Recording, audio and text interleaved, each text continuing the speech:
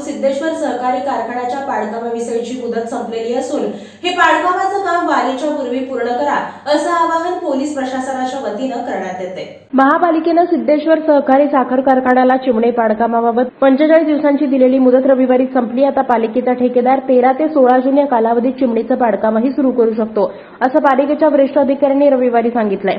आषाढी एकादशीच्या पालख्या जिल्ह्यात येण्यापूर्वीच पाडकाम सुरू केल्यास कारखाना परिसरात बंदोबस्त लावणं सोयीचं ठरेल असा निरोप पोलिसांनी महापालिकेला दिलाय. होटगी रोड विमानतळावरून विमानसेवा सुरू करण्यास सिद्धेश्वर कारखान्याची चिमणी अडथळा ठरत असल्याचा डीजीसीएचा अहवाल आहे. महापालिका अधिकाऱ्यांच्या मते कारखान्यानं विनापरवाना चिमणीचं बांधकाम केलंय. हे बांधकाम पंचेचाळीस दिवसांच्या आत स्वतःहून काढावं अशी नोटीसही महापालिकेचे आयुक्त शीतल तेली उगले यांनी सत्तावीस एप्रिललाच कारखान्याला दिली होती. आणि ही मुदत रविवारी संपलेली आहे. या दरम्यान कारखान्यानं पालिकेच्या नोटीसीला स्थगिती मिळावी यासाठी उच्च न्यायालयात धावही घेतली आहे उच्च न्यायालयात नऊ जून रोजी सुनावणी झाली.